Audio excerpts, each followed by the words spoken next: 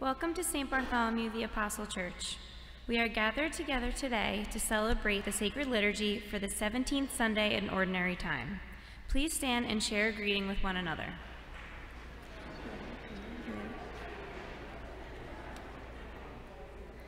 Our presider is Father John, assisted by Deacon Matt. Our entrance hymn is Table of Plenty.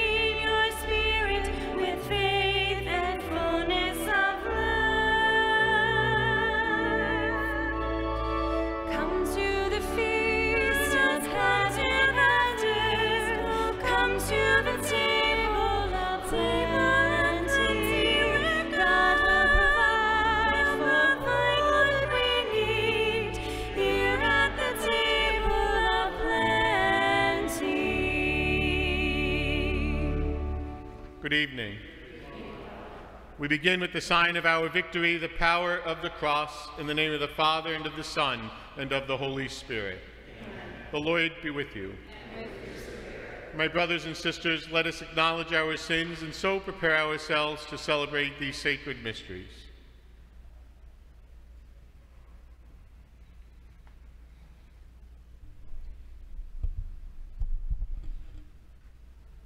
Lord Jesus, you come to us in word, in sacrament, and in one another.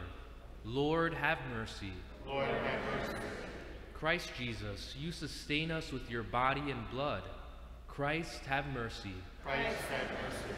Lord Jesus, you satisfy the hunger of every human heart. Lord, have mercy. May Almighty God have mercy on us, forgive us our sins, and bring us to everlasting life.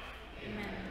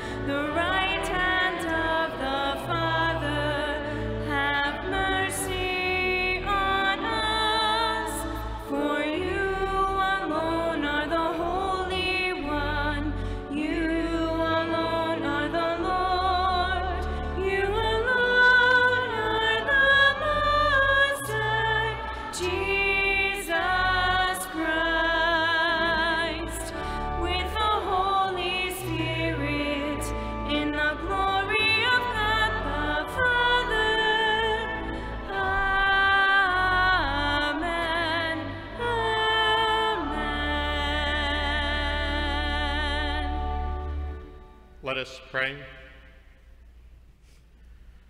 O God, protector of those who hope in you, without whom nothing has firm foundation, nothing is holy, bestow in abundance your mercy upon us, and grant that with you as our ruler and our guide, we may use the good things that pass in such a way as to hold fast even now to those that ever endure.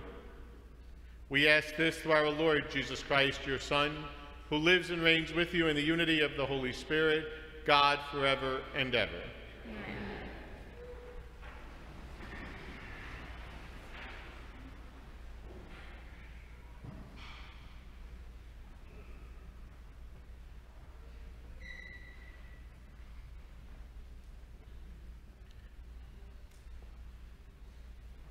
A reading from the second book of Kings. A man came from Baal Shalisha, bringing to Elisha, the man of God, twenty barley loaves made from the first fruits and fresh grain in the ear.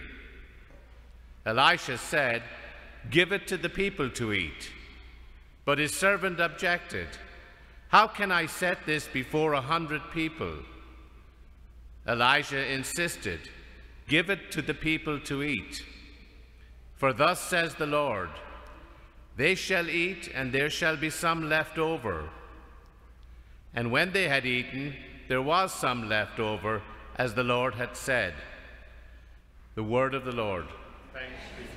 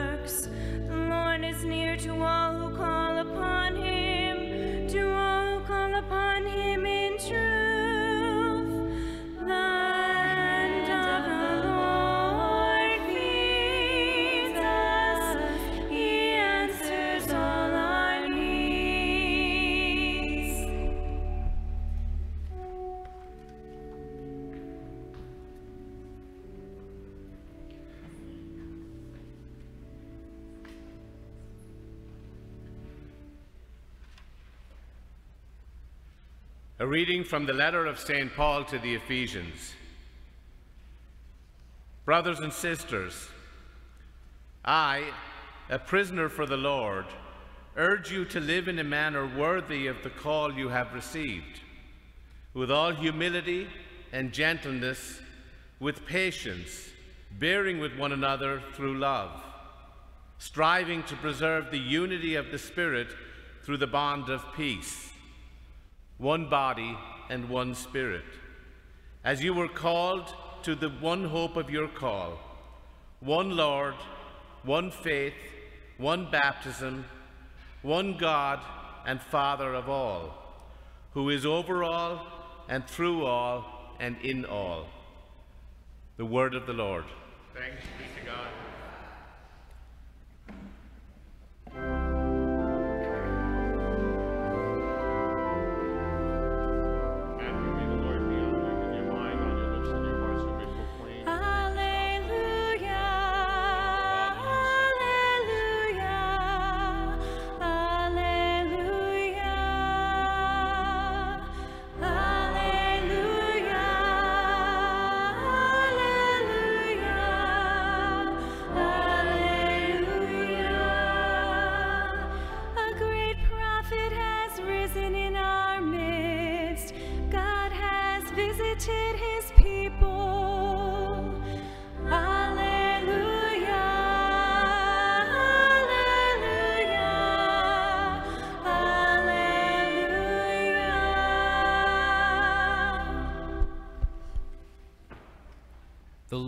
With you.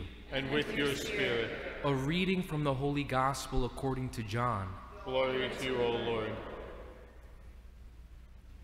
Jesus went across the Sea of Galilee. A large crowd followed him because they saw the signs he was performing on the sick. Jesus went up on the mountain, and there he sat down with his disciples. The Jewish feast of Passover was near. When Jesus raised his eyes and saw that a large crowd was coming to him, he said to Philip, Where can we buy enough food for them to eat? He said this to test him, because he himself knew what he was going to do. Philip answered him, Two hundred days' wages worth of food would not be enough for each of them to have a little. One of his disciples, Andrew, the brother of Simon Peter, said to him, There is a boy here who has five barley loaves and two fish. But what good are these for so many? Jesus said, Have the people recline. Now there was a great deal of grass in that place. So the men reclined, about 5,000 in number. Then Jesus took the loaves, gave thanks, and distributed them to those who were reclining, and also as much of the fish as they wanted. When they had their fill, he said to his disciples, Gather the fragments left over, so that nothing will be wasted. So they collected them and filled twelve wicker baskets with fragments from the five barley loaves that had been more than they could eat. When the people saw the sign he had done, they said, This is truly the prophet, the one who is to come into the world. Since Jesus knew that they were going to come and carry him off to make him king, he withdrew again to the mountain alone. The Gospel of the Lord. Praise to you, Lord Jesus Christ.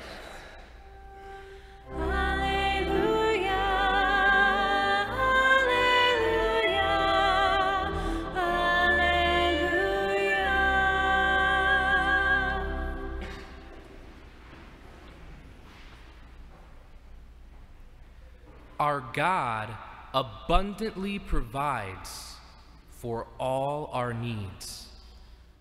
Two weeks ago, I visited a very close friend of mine, Father Morris Montoya. He is a newly ordained priest for the Archdiocese and was assigned to Blessed Sacrament Parish in Elizabeth. And naturally, when I arrived to the parish, Father Morris wanted to give me a tour of the church building. He began by explaining some of the architecture, beautiful stained glass, and artwork within the church. As we approached the sanctuary, there were two transepts, one on, on the left and the other on the right. He asked me, What depictions of art do you see on either side? At the end of the left transept, there was the image of the wedding at Cana. At the end of the right transept, there was the image of the feeding of the 5,000, which we heard in our gospel passage this evening. Through each of these images, the wedding at Cana, where Jesus provides abundant wine, and the feeding of the 5,000, where Jesus provides abundant bread, we get a glimpse of what God intended to do by sending Jesus, his only begotten Son, into the world. What God intended to do back then, and what he intends to do in each of our lives today. Our responsorial psalm captures well the desire and action of God for each of us. The hand of the Lord feeds us. He answers all our needs. Today's readings help us to realize just this that Jesus Christ comes to each one of us this day in his divine generosity to abundantly provide for all of our needs. In our first reading from the second book of Kings, we hear about the prophet Elisha and the last of his miracles in chapter 4. Elisha performed impressive miracles such as raising a local woman's son from the dead.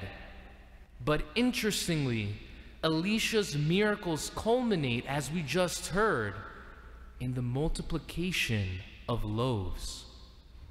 Facing the need of feeding 100 people, Elisha had a perspective of divine abundance, while his servant in the reading had a perspective of insufficiency. His servant, in response to Elisha's command to give the people 20 barley loaves to eat, replies, How can I set this before a hundred people?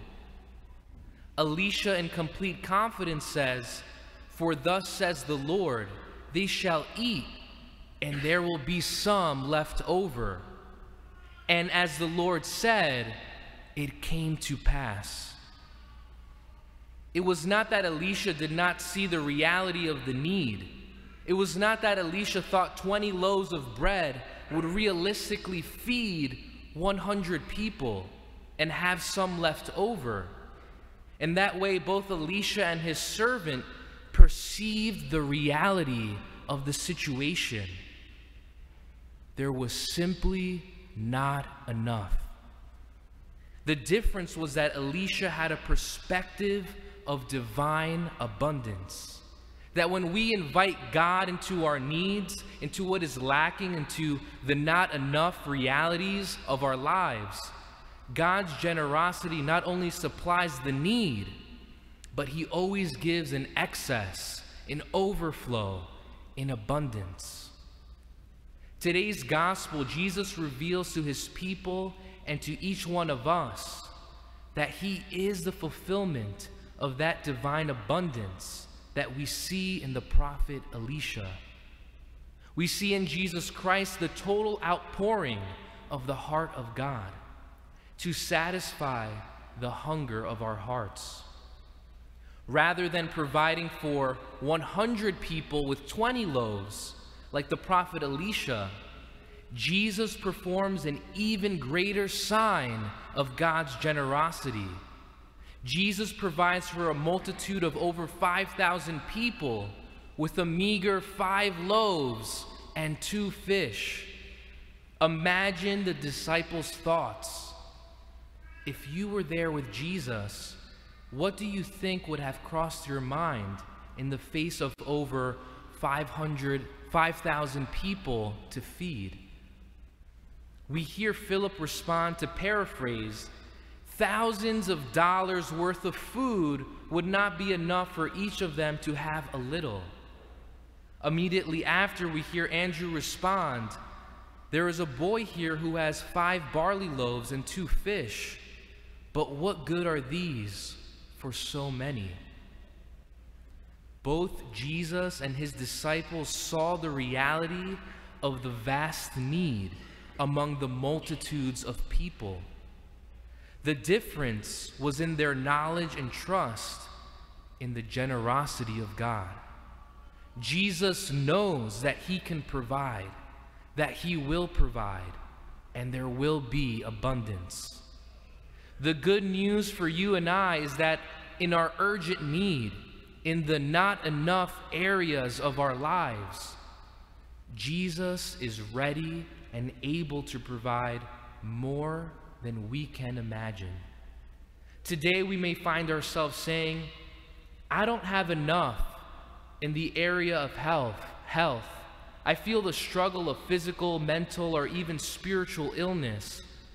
I don't have enough financially or materially to get through this moment in my life or my family's life. Or we might be saying, I don't have enough in the area of relationship I feel like I'm lacking love. Each of us have come today with different needs, different areas of our lives that it feels like there just isn't enough. And maybe you're right about all those needs. Maybe there just isn't enough. The question is, what is the next step? Jesus challenges us today to imitate the pattern of today's gospel passage in faith. Like the boy in the gospel, we are called to place our five loaves and our two fish, those things in our life that we don't think are enough, in the hands of Jesus. If he is the divine word that created the cosmos out of nothing, imagine what he can do even with the little you give him today. Friends, in just a few moments, Jesus will provide what our gospel passage foreshadows the superabundant bread of the Eucharist, the life giving bread that nourishes us and fills us with abounding grace. As we confidently say amen to Jesus, really and substantially present in the Eucharist, may we receive the abundance of his divine life, trusting that the Lord comes to generously answer all our needs, and then through us, answer the needs of the whole world.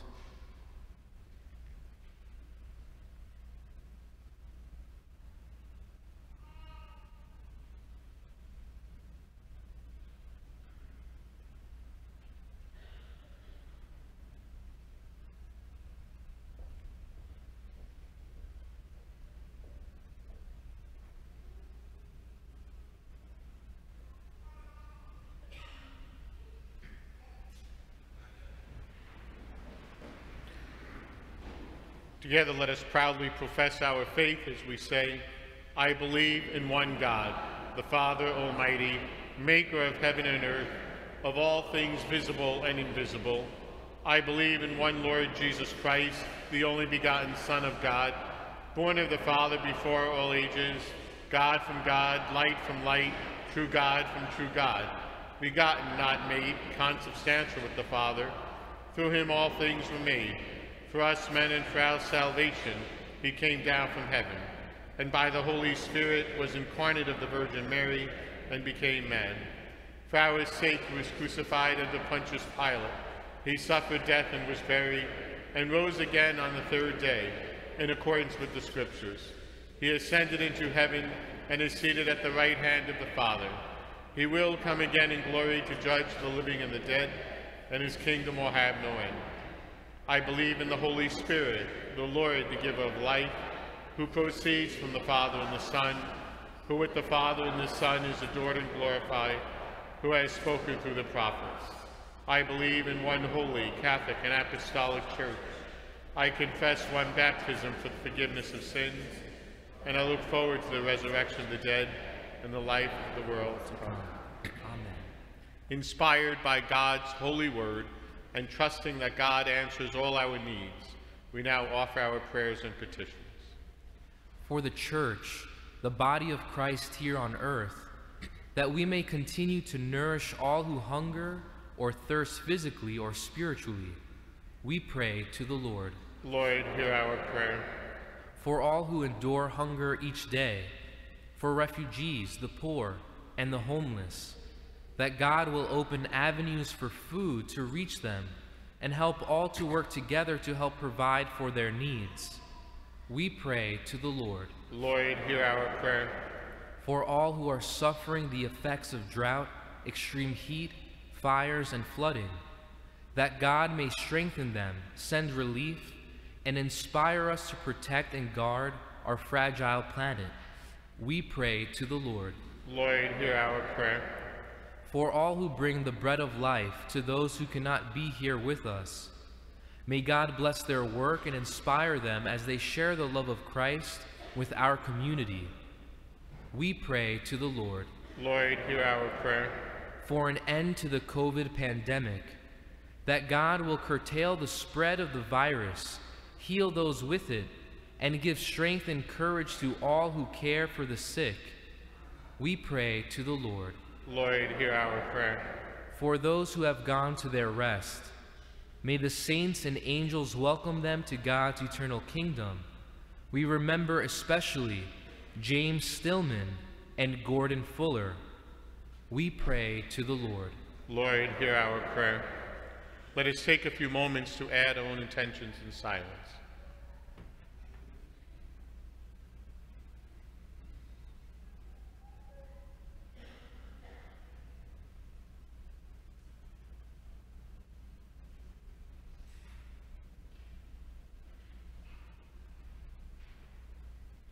Through the intercession of Our Lady, we pray. Hail Mary, full of grace, the Lord is with thee. Blessed art thou among women, and blessed is the fruit of thy womb, Jesus. Holy Mary, Mother of God, pray for us sinners, now and at the hour of our death. Amen.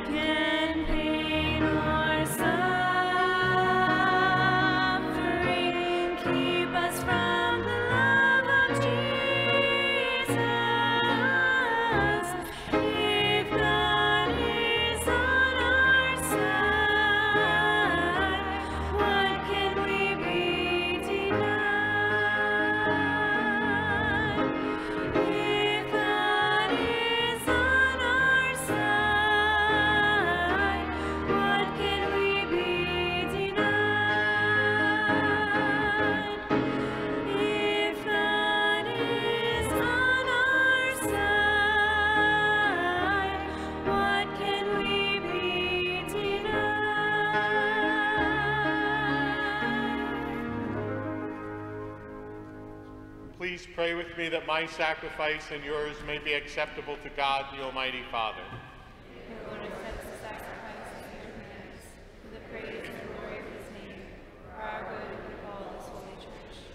Amen.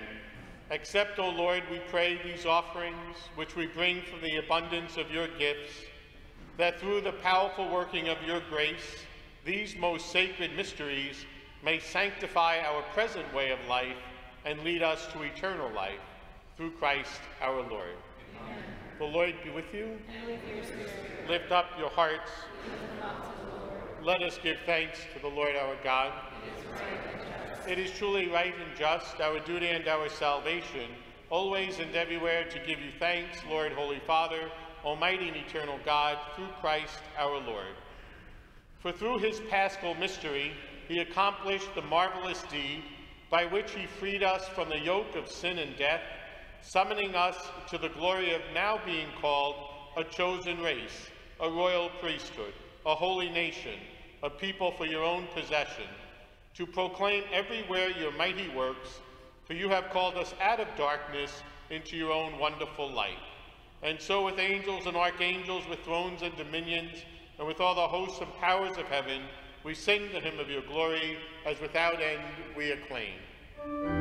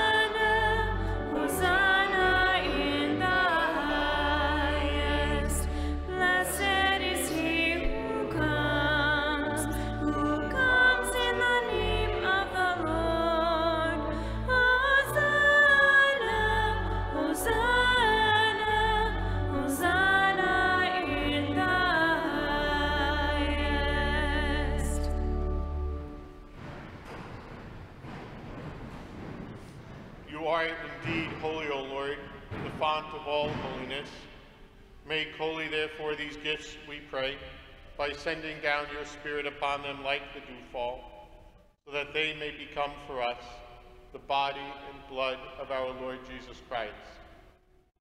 At the time he was betrayed and entered willingly into his passion, he took bread, and giving thanks, broke it, and gave it to his disciples, saying, Take this, all of you, and eat of it. For this is my body, which will be given up for you.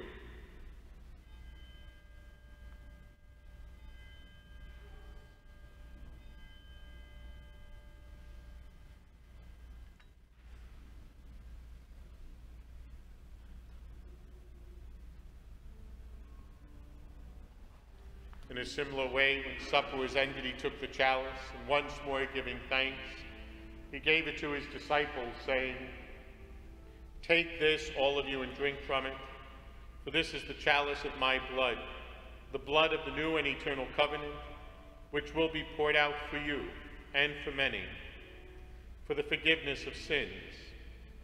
Do this in memory of me.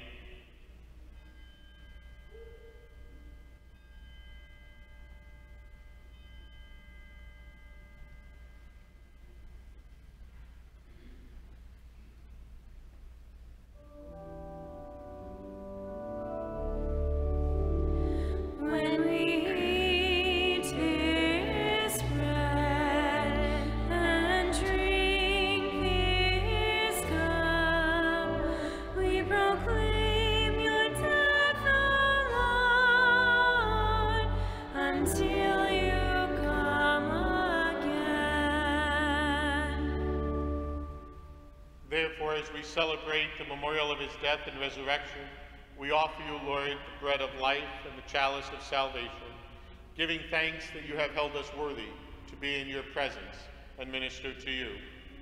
Humbly we pray that partaking of the body and blood of Christ, we may be gathered into one by the Holy Spirit. Remember, Lord, your church spread throughout the world and bring her to the fullness of charity, together with Francis, our Pope, Joseph, our Bishop, and all who serve your people. Remember also our brothers and sisters who have fallen asleep in the hope of the resurrection, and all who have died in your mercy. Welcome them into the light of your face. Father, have mercy on us all, we pray, that with the Blessed Virgin Mary, Mother of God, with blessed Joseph, her spouse, with the blessed apostles, and all the saints who have pleased you throughout the ages, we may merit to be co-heirs to eternal life, and may praise and glorify you through your Son, Jesus Christ. Through him and with him and in him, O God, Almighty Father, in the unity of the Holy Spirit, all glory and honor is yours forever and ever. Amen.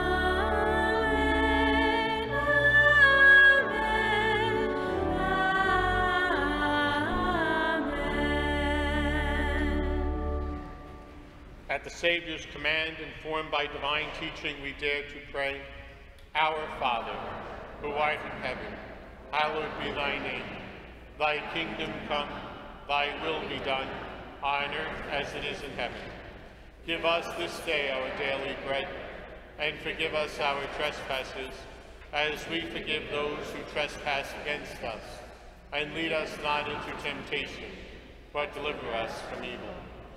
Deliver us, Lord, we pray, from every evil. Graciously grant peace in our days, that by the help of your mercy we may be always free from sin and safe from all distress, as we await the blessed hope and the coming of our Savior, Jesus Christ.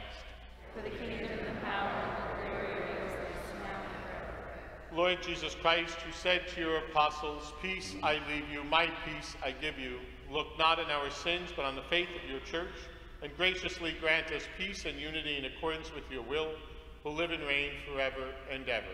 Amen. The peace of the Lord be with you always. And with your spirit. Let us offer each other the sign of peace.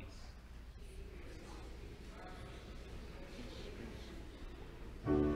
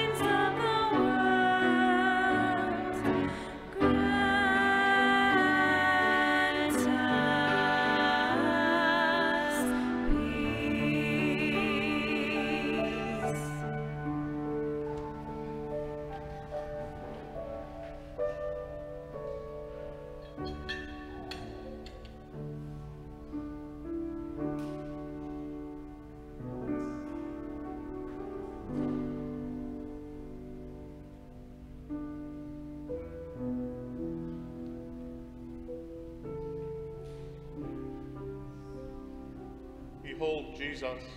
Behold the Lamb of God.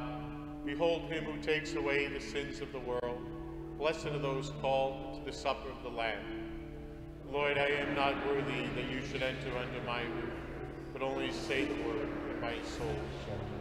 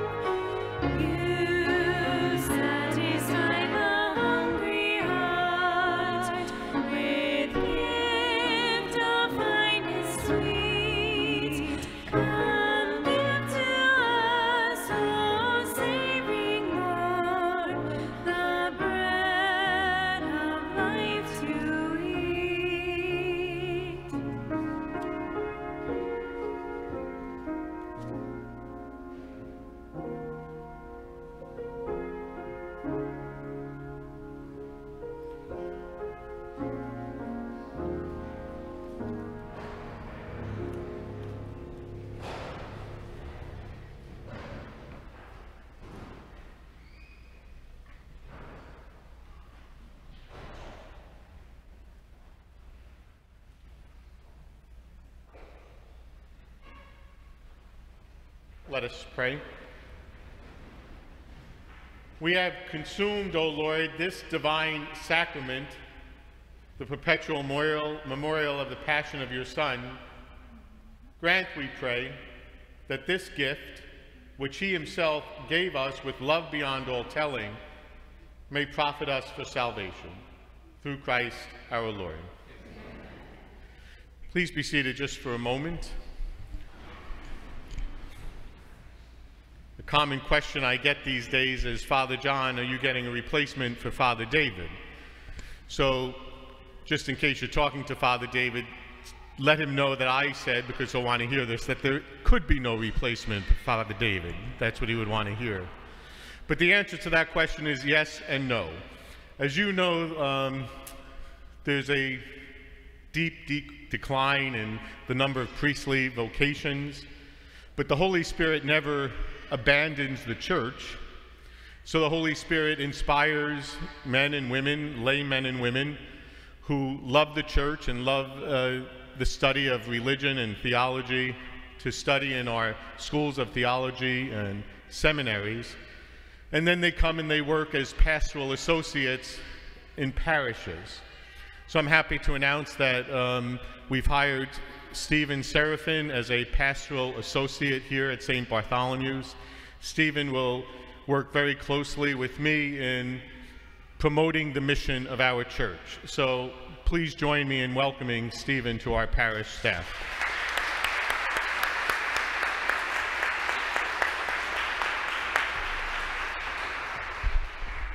Thanks, Father John. I'm so excited to be here. Uh, the most important thing to know about me is that I am not a priest. I've actually been married for five years. Uh, my wife's name's Trisha. We just had our first uh, child last July. Uh, she just turned one uh, the same day that Anne uh, hit a big number as well. But I, I'm so excited to be here. I have actually been attending Mass here for probably about the last two months. So just in the back, just getting to know the community. And it's such a wonderful and beautiful community. I've already felt so welcome uh, coming here. A little bit about me I uh, have been working for the Archdiocese for the last two years uh, in the catechetical office. Uh, prior to that, I was a pastoral associate at another parish, uh, and so I'm bringing a lot of that experience to St. Bart's. I'm finishing up my doctorate right now. It's a doctorate in ministry, and it's focused on accompanying married couples and families. Uh, so a lot of uh, uh, marital coaching or family coaching and best practices how to uh, strengthen marriages and families. And so I'm hoping to bring that to the table. And when you see Fa- Father David, you can let him know I can never replace him. I don't think I can get my hair the, the way that he gets his hair. Uh, but uh, yeah, so I look forward to meeting all of you and uh, getting to know all of you and to be able to share my faith story with you as well. So thank you so much.